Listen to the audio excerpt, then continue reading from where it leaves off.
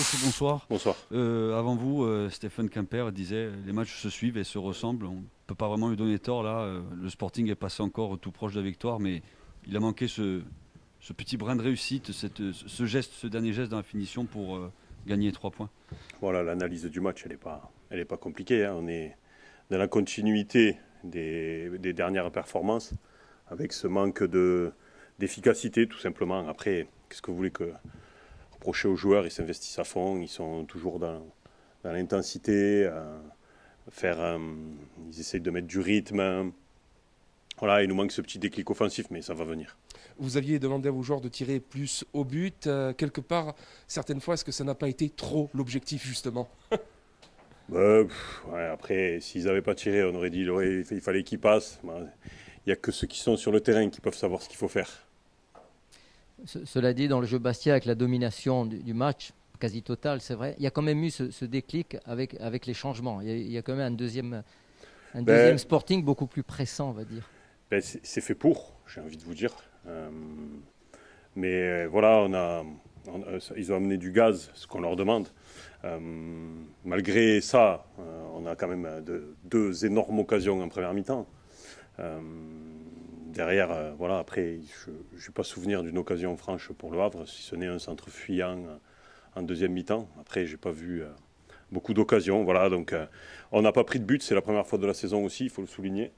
Et hum, voilà, on- c'est une, progression. Après, on avance, on avance, on prend des points, on prend un point. On a quatre, euh, quatre points d'avance sur la, la zone de relégation. Continuons comme ça, des matchs, on va en gagner, j'en suis persuadé. C'est la, la première trêve, on va dire. Le bilan que vous en retirez, enfin, Oh, ben. très, très minime, mais Le, le bilan, on, on- sincèrement, hein, je pense qu'on est au niveau. hein. Euh, on l'a montré euh, sur, euh, les, sur ces six premiers matchs.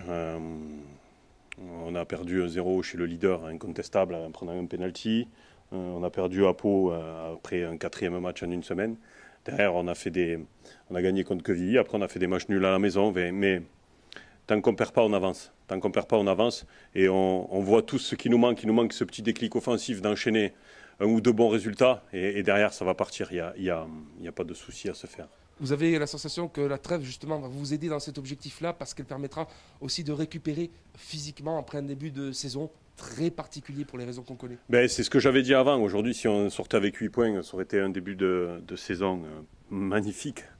Là, on sort avec 6 points. C'est un début de saison moyen. On est, euh, on est euh, 14e, je crois.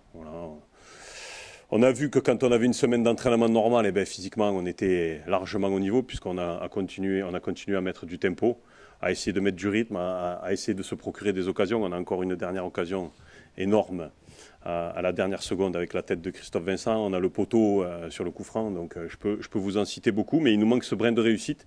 Et la réussite, c'est, ça se provoque, donc il faut surtout pas qu'on baisse et qu'on baisse les bras, mais ça, y a, vous inquiétez pas pour ça. Et, derrière, on, on va gagner des matchs parce que en mettant ce qu'on y met, c'est impossible de ne pas prendre de points.